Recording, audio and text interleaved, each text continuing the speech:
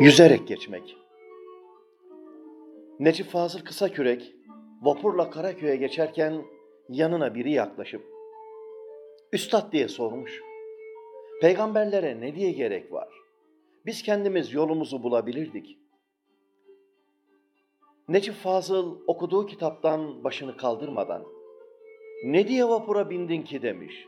Yüzerek geçsene karşı kıyıya. Evet. Kuru Kafa Pazarı Behlül Dana Hazretleri bir mezarlıkta bulduğu üç kuru kafayı zembiline koymuş ve pazara getirip satıyorum diye bağırmaya başlamış. Meraklılar başına toplanıp fiyatını sormuşlar. Birincisi parasız, ikincisi ise sudan ucuzdur demiş. Ama üçüncüsünü hiç sormayın. Ağırlığınca paradır. Sebebini merak etmişler.